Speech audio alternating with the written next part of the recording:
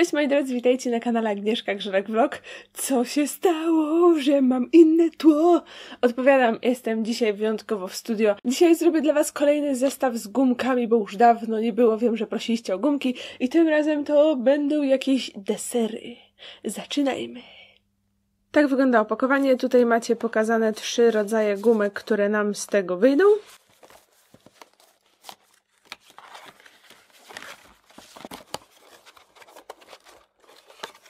I teraz zobaczmy, co jest w środku. Oczywiście standardowo mamy instrukcję, foremkę. Tym razem mamy trzy kolory plastelin, zwykle chyba są cztery. I oczywiście jest pudełko, w którym gotujemy gumki. Tutaj jak zwykle na instrukcji mamy pokazane jak mieszać kolory. I to, że dostaliśmy tylko trzy kolory mas wcale nie oznacza, że będziemy mieć do wykorzystania tylko trzy kolory, bo tutaj jak widzicie jest jeszcze zielony, fioletowy i taki jakby trochę ciasteczkowy. Otworzyłam wszystkie plasteliny i słuchajcie, żółta pachnie jak y, wanilia, różowa jak zwykle jak truskawka. I teraz poczułam, że ta niebieska pachnie jak winogrono, więc są to po prostu cudowne zapachy y, i dużo z Was pytało, czy te zapachy się utrzymują po zrobieniu gumek. I tak utrzymują utrzymują się, więc nawet jak je wygotujecie, to tak czy siak pachną, więc super! Do zrobienia tego koloru ciasteczkowego potrzebujemy równych części masy żółtej i różowej. Dzisiaj nie mam ze sobą mojego nożyka, więc utnę to nożyczkami.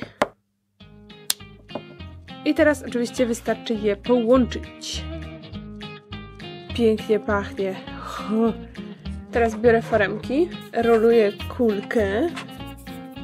Oczywiście muszę najpierw spryskać tą foremkę, żeby się nie przykleiła plastelina.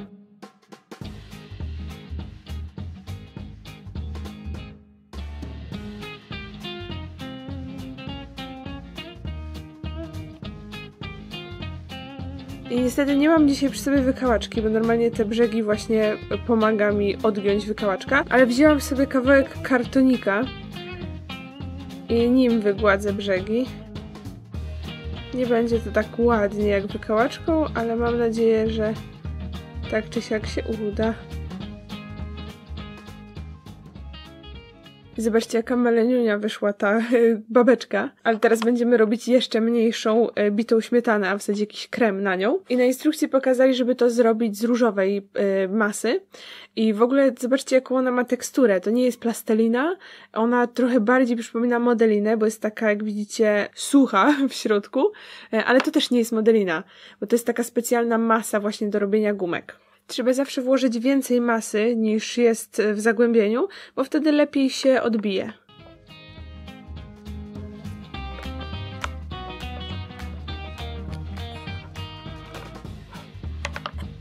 Widzicie jak ładna? Teraz spróbuję wyrównać brzegi tą tekturką, chociaż może być trochę ciężej niż wykałaczką. I teraz tutaj widać taką jakby chyba posypkę, jakby cukieraski. Wezmę sobie trochę żółtej, trochę niebieskiej.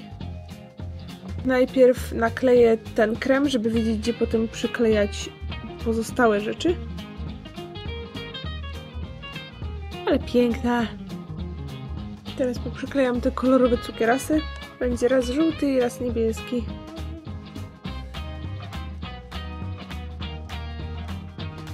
Teraz odstawię na bok.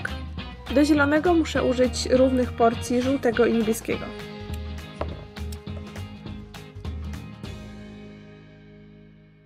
Teraz znowu spryskam foremkę i odcisnę z tego dwa listki.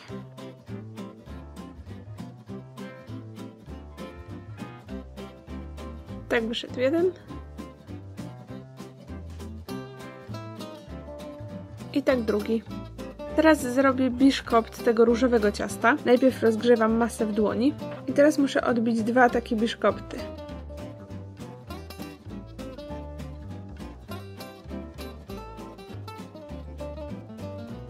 Trochę go przytnę kartonikiem. Tutaj nie zależy mi tak bardzo na równym cięciu, dlatego że to jest e, biszkopt, więc fajnie, jeżeli będzie miał jakieś nierówne brzegi. I teraz zrobię drugi taki sam.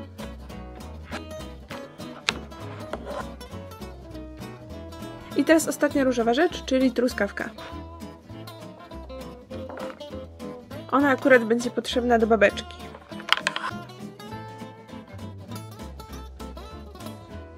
Teraz z powrotem wracam do tego torciku i zrobię dwa niebieskie biszkopty. Przygotuję sobie niebieską masę.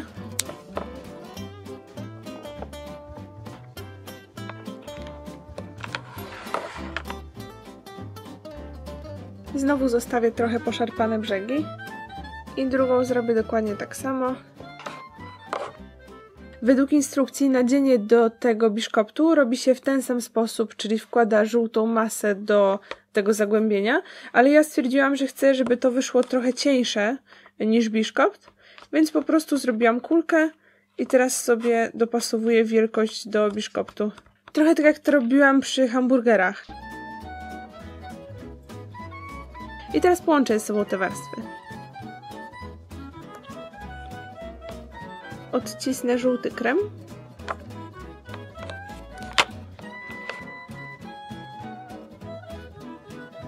Teraz będę odciskać same fioletowe rzeczy, więc muszę do tego wziąć równe porcje niebieskiej i różowej masy. Odcisnę jedno e, nadzienie do tego trójkątnego biszkopta.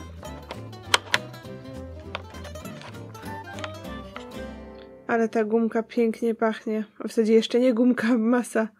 I chyba to zostawię takie zupełnie pomarszczone, bo to jest krem. Teraz odcisnę borówkę. Jaka śliczna. I teraz jeszcze zrobię napis. Jakie schudziutkie. I to też zostawię takie trochę obdarte. Z tego co mi się wydaje, to mamy już wszystko i teraz zostało to tylko złożyć. E, babeczka jest skończona, więc ją odłożę na bok i zacznę od tego torciku okrągłego.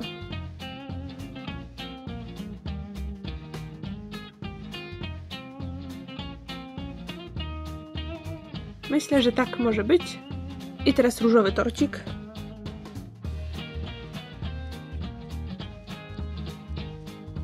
Wow, jaki grubaśny.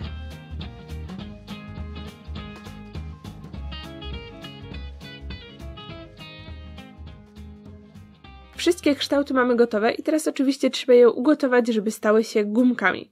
W instrukcji jest napisane, żeby je gotować w mikrofalówce, ale oczywiście jeżeli nie macie mikrofalówki, to możecie też ugotować w garnku. Tutaj jest podany czas. Jeżeli macie 500W mikrofalówkę, to trzeba gotować około 4 minut. Jeżeli 600W około 3,5 minuty i oczywiście im mocniejsza, tym krócej trzeba gotować. I w czasie, kiedy gotują się gumki, powycinam te papierki.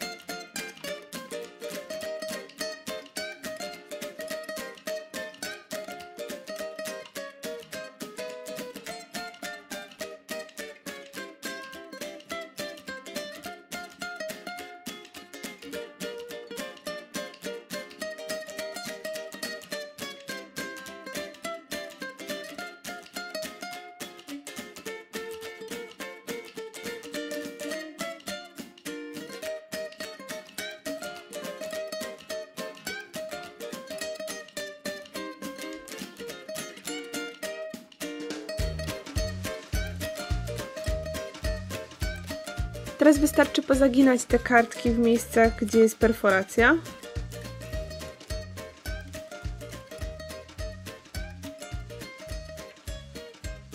Kiedy gumki są gotowe, możemy działać dalej. Z babeczki trzeba w końcu zrobić babeczkę i przykryć ją tą karteczką. Więc pokryję jeden brzeg klejem i okleję dookoła. Teraz muszę pokryć klejem te części.